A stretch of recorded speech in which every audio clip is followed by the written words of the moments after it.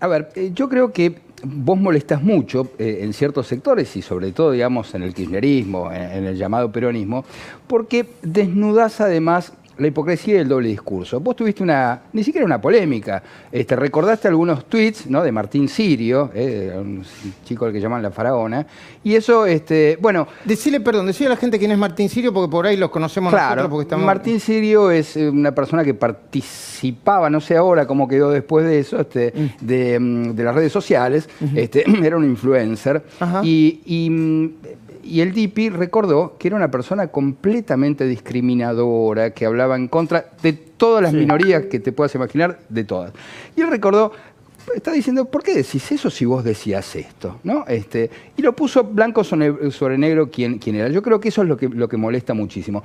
¿Vos opinás que en el kirchnerismo existe esa misma hipocresía, digamos, que, que vos solés este, poner eh, eh, blanco sobre negro? está, está a la vista.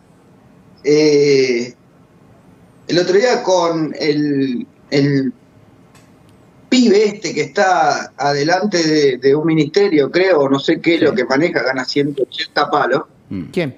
le sacaron eh, el que decía Les Pibis, el Grim, Grimson creo que es Eh, sí, Grimson. sí, el, No el, eh. Grimson, no recuerdo el nombre del el- el hijo de, de Grimson, de otro funcionario, sí. Mm.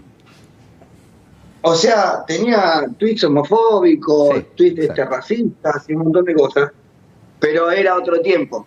Claro. Bueno, Claro, espera, para espera, para, Dipi, Ahora, para. lo que puedo hacer yo, estoy colgado en la Plaza de Mayo. Sí. En la Plaza de Mayo, colgado, prendido a fuego estoy ahí. Está bien, pero a mí me gusta esa discusión, ¿eh? porque no lo estoy defendiendo al chiquito, tenía 13 años, ¿eh?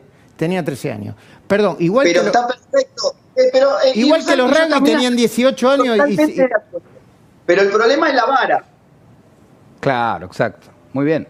El problema es la vara, el problema no es, pero más vale que yo lo entiendo. Vos te pensás, vos te pensás a mí, Luis, que no me han buscado tweets a mí, pero yo creo que, que han, se han, han pagado gente para que busque los tweets. ¿Y encontraron Uh. alguno embromado?